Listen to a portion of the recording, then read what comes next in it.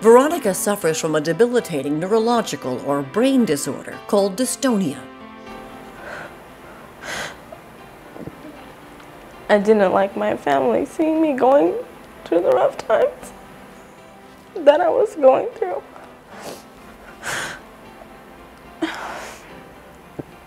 I didn't want my brother or my sisters seeing me struggle.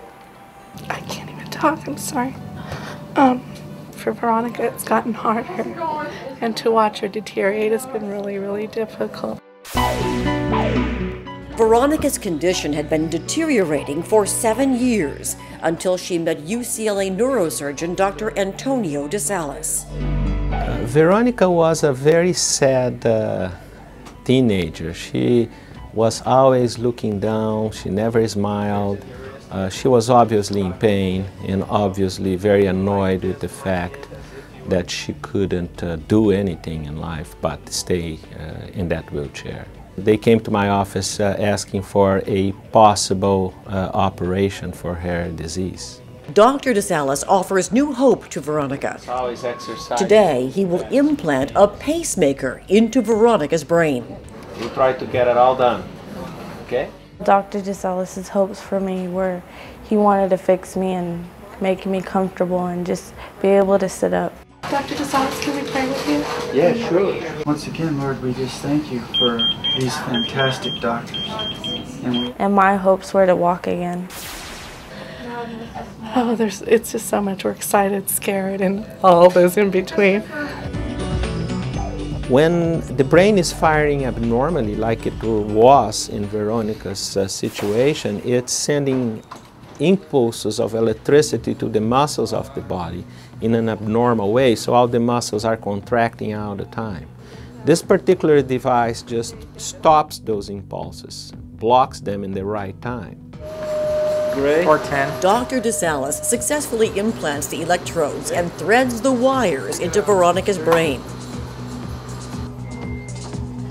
A second operation connects the electrodes to a compact generator. So I'm gonna go slow. Tell me if you feel anything. You might feel The pacemaker is now programmed to do battle. You might not feel anything though. So I went home and I was still in a wheelchair. My mom and my dad, they had gone to the garage to go get my walker. And everybody went in the garage and I was in the living room by myself. And I said, the heck with this, I'm gonna get up and see if I can walk myself. I don't need a walker. My mom turned around and said, Veronica, what are you doing? Everyone was crying and, and we're like, go walk more, go do this, walk over here, let's see you walk here. From the garage, I walked to the living room, to the living room, to the kitchen, from the kitchen, outside, and I just kept doing laps around the house and I thought, wow, this is amazing. I can't believe this is happening to me we were just blown away. And then we thought we would surprise Dr. DeSalles. Okay, hey Veronica, how are you? Uh, ourselves, we got very, very uh, emotional about it. Right? Yeah. Oh, good.